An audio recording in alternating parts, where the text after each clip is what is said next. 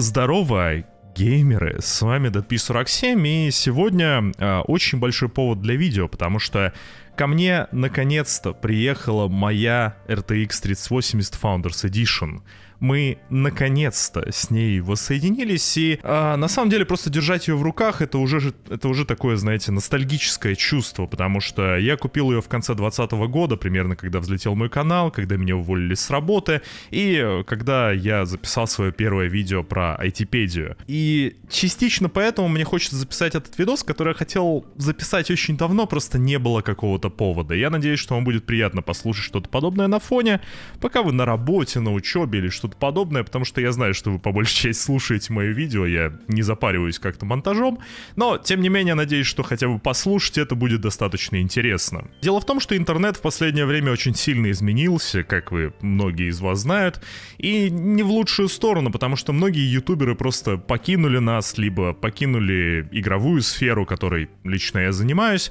и от этого на самом деле довольно печально, потому что многие из них именно создавали ту самую атмосферу геймерского комьюнити, которое мне так сильно нравилось. Только вспомните эти прекрасные геймерские моменты, вроде эм, того, что все обзорщики сравнили Horizon Forbidden West с Mass Effect 2, или э, вспомните огромные скандалы с Last of Us 2. И с какой-то стороны, да, это зарождало в нас очень негативные эмоции, типа вот там продажничай, все такое, но с другой стороны, э, участие в подобных интернет-противостояниях было чем-то крайне веселым, на самом деле, особенно с точки зрения ютубера, который не только мог поднять на этом просмотры, но и просто просто высказаться как-то. Это было очень интересно. И такие люди, как Антон Логвинов, itpedia или журналистские сайты вроде DTF. Помните, когда DTF написал, что а, вы не полностью прочувствовали Last of Us 2, если вы смотрели ее на стриме, потому что стример вам все испортил. Боже, я обожал такие штуки. И да, да, а, опять же повторюсь, это рождало в нас какие-то негативные эмоции,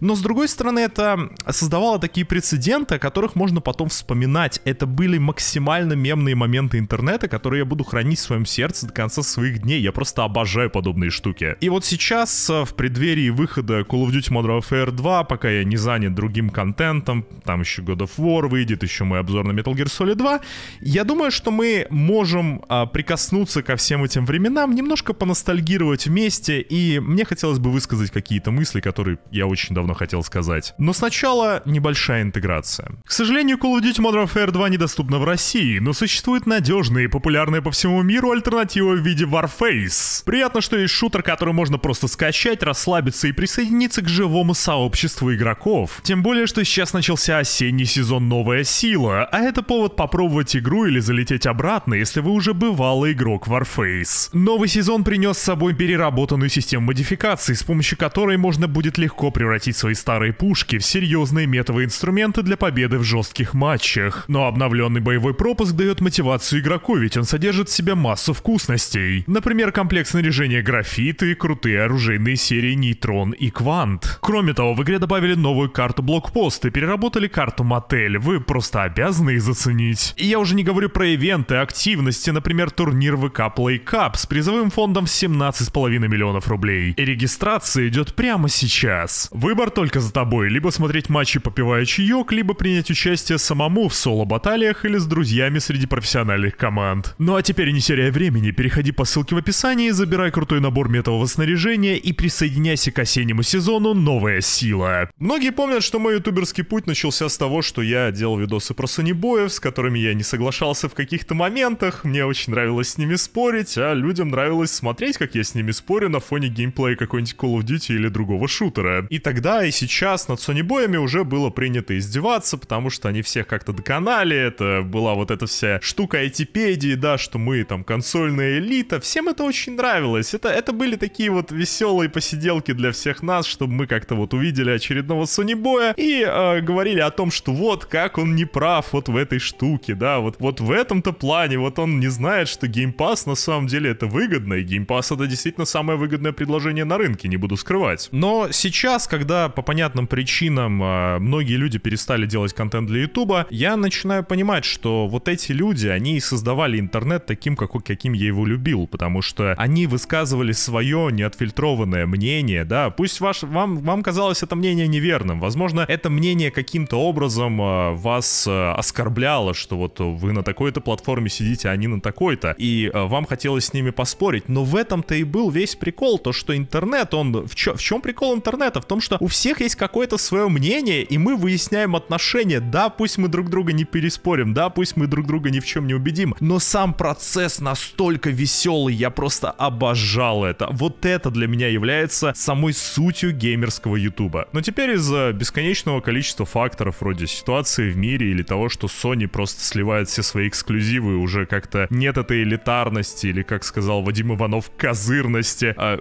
людям просто уже нечем хвалиться и не из-за чего чувствовать эту элитарность. Да, да, они просто либо перестали делать контент, либо их контент стал скучным из разряда там PlayStation 4 в 2022 году, стоит ли покупать? Блин, я всегда ненавидел такие видео, они настолько, настолько банальные. И вся эта движуха стала довольно андеграундной, потому что большие люди вроде айтипедии, они уже просто этим не занимаются, у него там уже какие-то свои дела, я на самом деле не слежу, чем он занимается, да и а, не хочу знать на самом деле.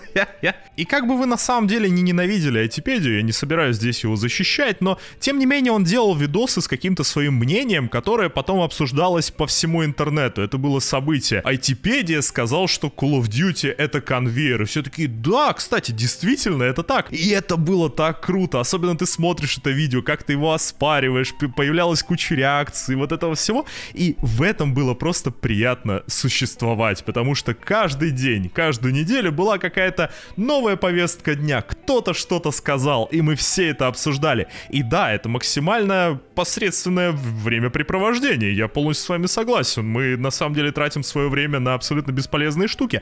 Но тем не менее, просто вспомните, насколько это было весело. Мне кажется, что персонажи вроде Антона Логвинова, Айтипедии и прочих таких ярко выраженных игровых личностей, они как персонажи в аниме. За ними интересно следить не потому, что ты как-то с ними иногда соглашаешься, а потому что они делают какие-то вещи, которые продвигают сюжет вперед. Начинаются какие-то новые арки. А, арка ночных поездок по городу. Арка того, что Айтипедия сказал, что PlayStation 5, э, наши квартиры к ней не готовы. Все эти мемы, вся эта движуха, я безумно люблю ее. Даже если вы были с ними не согласны, мне кажется, что они были просто необходимым злом. Они создавали баланс в интернете. Этот баланс был прекрасен тем, что у тебя всегда был человек, вот точку зрения которого ты разделяешь, да, и вот этот человек, он был против вот того человека, и ты такой, я тоже против этого человека, и тут начинались вот эти бесконечно... Боже, я обожаю все это, гайс. И я, я думаю, что вы тоже, если вы подписаны на этот канал с тех времен, я думаю, что вам тоже подобное нравится. Интернет стал скучным, и я имею в виду именно русскоязычный сегмент игрового ютуба, в котором просто почти уже никого не осталось. Нет, есть, конечно, люди вроде XBT, которые делают а, миллионный видос про повесточку или что-то подобное, и он уже не так интересен, как а,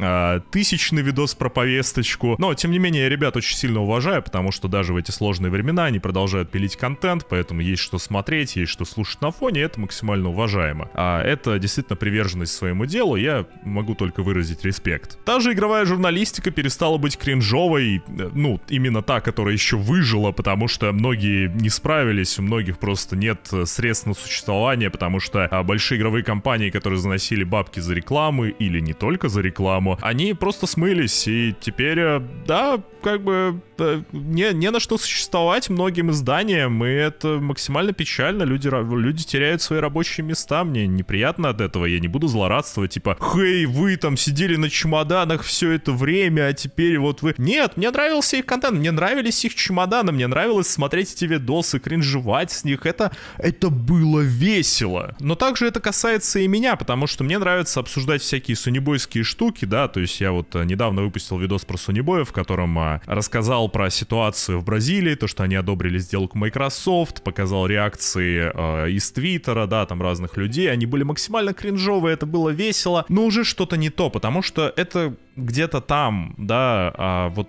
мне хотелось бы рассказать про наших, но нашим это уже не особо интересно. У нас нет ютуберов, которые освещают эти темы. Я очень уважаю, допустим, консольманию, который даже несмотря на все, что происходило, все равно записывал видосы, иногда даже из машины, и э, рассказывал там о каких-то новостях, он э, всячески пытался как-то участвовать во всем этом, да, не выходить из этого поля, но даже он, насколько я вижу, он делает видео раз в две недели, и, возможно, там про какое-то обновление PlayStation Plus, и не более. И не подумайте даже на секунду, что я в чем-то виню этих людей, потому что сейчас жизнь кардинально изменилась у многих, и вот эти все штуки там, о, в интернете кто-то не прав, это уже настолько на втором, на третьем плане, на четвертом, это уже ни на каком плане для многих людей, что да, это в принципе достаточно разумно просто перестать это делать. Это видео не призвано говорить, что давайте вернем эти времена Е, потому что сейчас я прекрасно понимаю, понимаю, что это просто невозможно. Я просто хочу и чувствую, что надо провести черту под всей этой прекрасной эпохой, которую мы не ценили и которую слишком, как мне кажется, рано потеряли. И на самом деле мне очень сильно повезло в этом плане, потому что, в отличие от многих, мне все-таки удалось сменить тематику канала с Sony Боев, которые раньше были моим основным контентом, на видео про игры, которые мне нравятся. Я безумно благодарен своему комьюнити, то, что они все это смотрят. Я могу делать видосы про мангу, про какую-то малоизвестную японскую РПГ, которая которой никто не слышал, которая даже не переведена на русский язык. Но, тем не менее, да, многие мне сказали там, у, блин, там всего 40 тысяч просмотров. Раньше видосы про Сонибоев 40 тысяч просмотров набирали. Сейчас стандартный какой-нибудь успешный видос набирает сотку и больше. За что я вам очень благодарен, ГС. Вы помогли мне как-то эволюционировать как ютуберу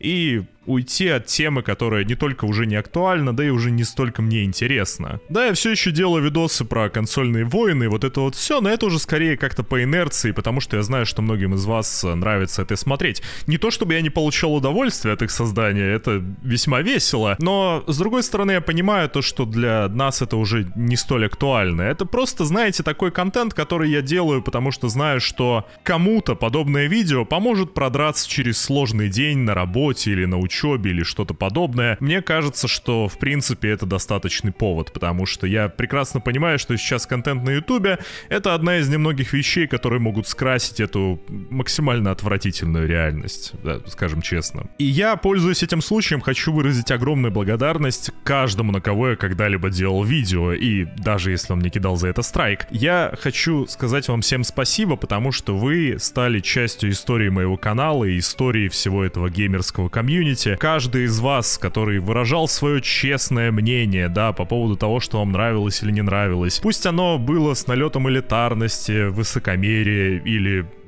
откровенной тупости, это все равно было чем-то, что я ценил, и каждое из этих видео я нежно люблю. Просто понимаете, у меня сейчас есть такое ощущение, что мы как будто вот э, в последних сезонах теории Большого Взрыва, да, когда персонажи уже постарели, да, когда интересных событий особо нет, они выглядят как супружеские пары, которые просто периодически вспоминают о том, как вот раньше было круто. Вот как-то так сейчас все и происходит. И да, это, это печально с какой-то стороны, с другой стороны нам, нам есть что вспоминать, нам охренеть сколько можно вспоминать. Ну и с какой-то стороны это очень большая привилегия, за которую я благодарен своим зрителям, потому что я имею возможность находиться в относительной безопасности, делать видео о том, что мне нравится, и я понимаю, что многих напрягает то, что я там а, где-то там а, что-то там делаю, да, то есть я Типа, я, я, я прошу вас прощения, не совсем понимаю за что, но прошу вас прощения, потому что, возможно, вам кажется, что я вас каким-то образом там предал или что-то подобное. Извините, пожалуйста. Ну и хоть я уже не так буду заниматься подобным контентом, как вы уже поняли, у меня есть несколько каналов, которые вот молоденькие, хорошие, которые действительно имеют тот самый дух геймерства, который мне так нравится. Поэтому подписывайтесь на Рейдена, Хьюга Буллета и Майзенберга. Прекрасные ребята, мы смотрели их на стримах, они действительно очень ламповые и имеют вот именно тот самый дух того, что нам нравилось. И, кстати, это не является рекламой, если что, я просто, мне они просто нравятся, окей? Окей? Окей? Окей. Также хочу выразить огромное уважение всем ютуберам, которые все еще продолжают делать качественный контент и радовать своих зрителей, помогая им продираться через очередной день. Что же касается меня, я продолжу делать видео про игры, которые мне нравятся, про игры, которые мне не нравятся, и в этом мне поможет моя а, RTX 3080 Fan Founders Edition, наконец-то видосы начнут выходить в 1440p, как в старые добрые, потому что многие владельцы 4К телевизоров, они жаловались, что 1080p слишком мыльная. Наконец-то вы сможете видеть видосы в 1440p, как только я пересоберу компик. Хотя на самом деле э, есть еще одно улучшение, которое э, вы очень долго ждали, потому что наконец-то люди перестанут шутить про то, что у меня в компьютере стоит XAS, из-за которого взорвется мой комп и сгорит моя 3080. Я предусмотрел этот момент, дорогие друзья. И вот поэтому я купил блок питания от Corsair на 850 ватт, который потянет ее и будет весьма безопасен. Я, я надеюсь на это. Я отвечаю, как только я вытащу XAS и вставлю даже самый дорогой, самый качественный блок питания, все взорвет. Я уверен в этом, потому что это закон подлости, дорогие друзья. Вот этот XAS, он держал мой комп 3 года, и ни разу не было ни единой проблемы. Все из вас, кто говорят плохо про XAS, вы просто купленные а, дипкулом или аэрокулом или биквайтом. Ну, короче, вы продажничьи, я, я уверен в этом, почти уверен. Так что да, ждите нового контента. У нас очень загруженная осень, потому что сейчас будет компания Call of Duty, которую я буду стримить полностью и потом сделаю видос. Обзор на Metal Gear Solid 2 и, конечно же, God of War Ragnarok. Благодаря вам у меня есть PlayStation 5, с которой я смогу его и постримить, и сделать видос. Так что да, нас ждут прекрасные времена, даже если, э, если, в общем-то, времена не очень хорошие. В любом случае, спасибо, что послушали бубнеж старого деда, это было весьма приятно. Если вам нравится мой канал, можете нажать на лайк, поставить колокольчик и подписаться на него. Я буду весьма вам благодарен. Спасибо вам огромное за поддержку. Если вам нечего посмотреть, кстати, можете прямо сейчас на экране клацнуть на видос по моей любимой японской РПГ, либо на видео про Человека-бензопилу 2, который я сделал буквально вчера. Да, видосы выходят как-то слишком часто. Но в любом случае, всем пока.